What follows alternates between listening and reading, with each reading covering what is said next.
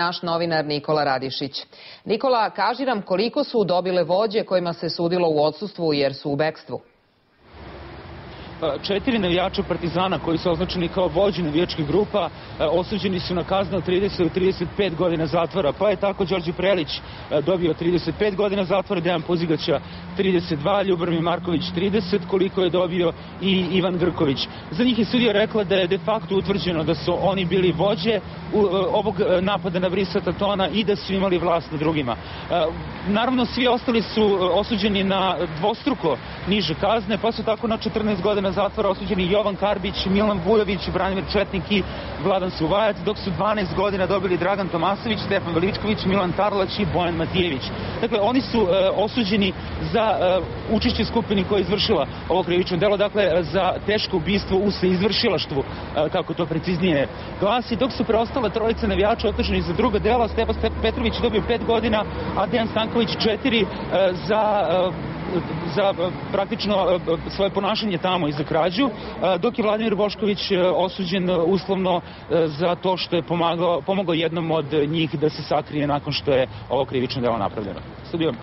Nikola, kako je obrazloženje presude i kakve su reakcije Brisovih roditelja i tužilaštva posle izritanja presude?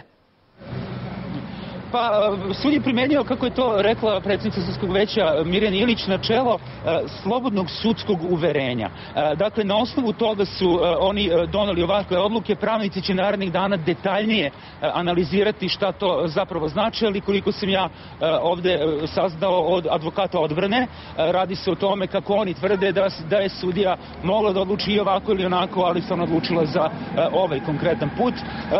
Takođe, sud je izvršio, utvrdio da su svi oni kao sa izvršioci izvršili ovo krivično delo, ali nije prihvatio tu tezu e, tužiloštva da su oni e, sve to e, uradili sa direktnim umišljajem, već da su to radili sa eventualnim umišljajem, što znači u stvari da oni nisu praktično planirali da ubiju Tatona, ali da su bili potpuno svesni toga dokle to što oni rade u stvari može da dovede, odnosno da, da napad na Brisa Tatona može da dovede i do njegove smrti.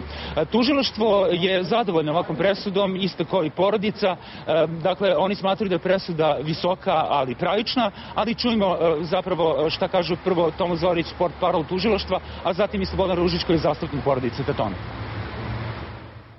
Tužiloštvo je zadovoljno izrečenom presudom. Ova presuda je dokaz da je pravda dostižna.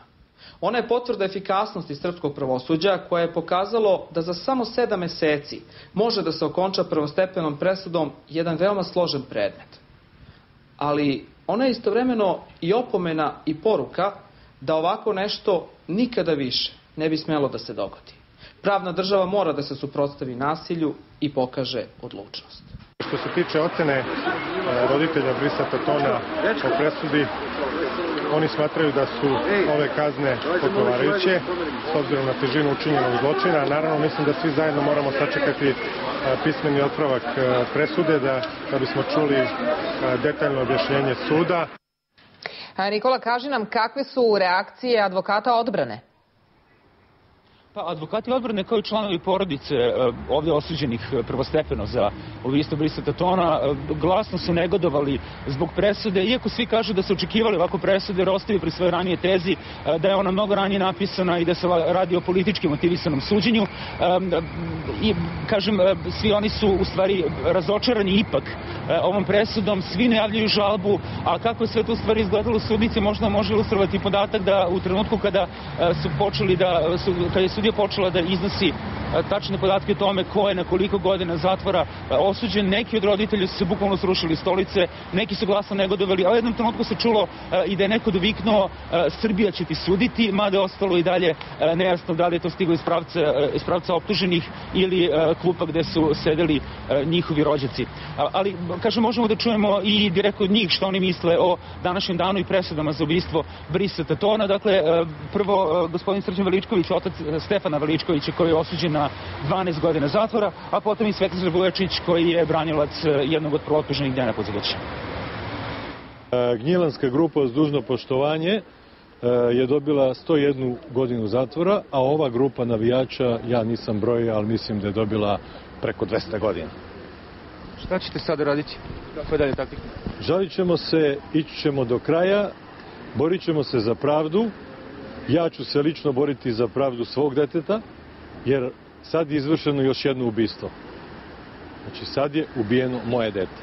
Skandalozna jedna presuda, opet kažem, imamo razumevanje za sudsko veće, jer je moralo ovako da uradi, jer možete misliti šta bi se desilo da ih je oslobodio, a morao je da ih se oslobodi. Trebali bi danas da idemo da skidamo tu spomen ploču, ili tako, možda bi nas Francuska opet i bombardovala i tako dalje i tako dalje. Ovo je u stvari jedan političko-diplomatski proces bio od početka i tako se i završio. Odnosno, ovo je samo prvo vreme, nadam se da apelacija neće dozvoliti zbog budućnosti da se ovako, ovako sudi.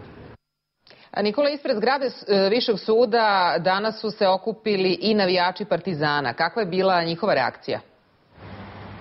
Pa ovde je bilo okupljeno nekoliko stotina ljudi, dakle što rodbine, što zainteresovanih ljudi, što navijača Partizana e, i sve je bilo veoma napeto i sam pokušaj ulazka u sudnicu e, toliki grupe ljudi, a podsjetit ću vas da u sudnici broj 3 ima nekih 40 i nešto mesta, ukazivaju na to da može e, doći do incidenata. Nažalost, njih je bilo, ali su pitanje manje, manje incidenti i napadnuti su uglavnom novinari. Svi smo manje više dobro prošli, sve se završilo verbalnim incidentima i verbalnim pretnjama, što fizičkim obračunom, što sudskim tužbama naknadno zbog izveštavanja medija. Najgore prošao stvari novinar Blica, koga je jedan od, kako čujem, najagresivnijih navijača udario ruku, ali ga je policija e, sprečila da ga i dalje napada. E, u svakom slučaju, kažem, e, nije bilo velikih incidenata, veliki broj policajaca koji je bio prisutan ovde ispred Palate pravde i u Palati pravde uspeo to da spreči.